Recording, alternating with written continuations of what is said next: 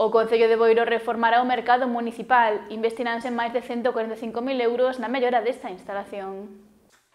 Continúa aberta a licitación do proxecto de reforma do mercado de abastos de Boiro.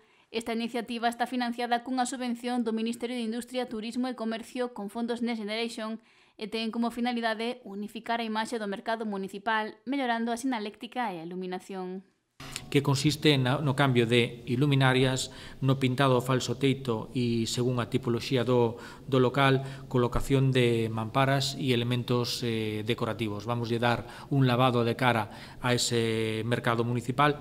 As obras teñen unha actuación de 145.000 euros, preto de 146.000, eh, eh e, bueno, vai a ser un cambio de estética eh, a nivel de praza de, de abastos. Bueno, eh, que sepan as empresas que está aberto o plazo prazo de presentación de, de ofertas hasta o 4 de, de xuño. Mañá mismo finalizaría xa ese, ese plazo. Logo, adxudicarase a obra co objetivo de que a actuación se inicie coa maior brevidade posible.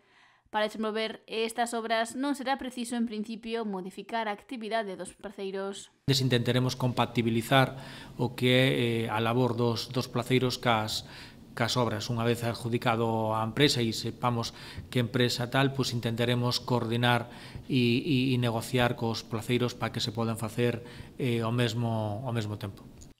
A subvención co que se impulsa esta obra conta con outras accións que xa foi desenvolvendo o Concello Boirense. Un proxecto que foi pionero no seu día a nivel eh, estatal que presentou este Concello que consistía na modernización do centro comercial aberto de, de Boiro.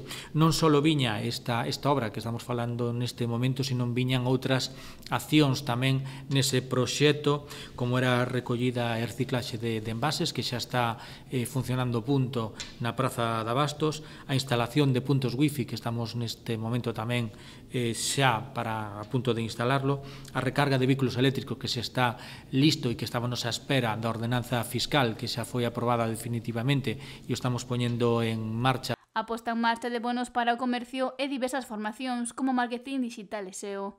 En total, o Concello de Boiro recibiu 237.641 euros para a modernización do Centro Comercial Aberto de Boiro.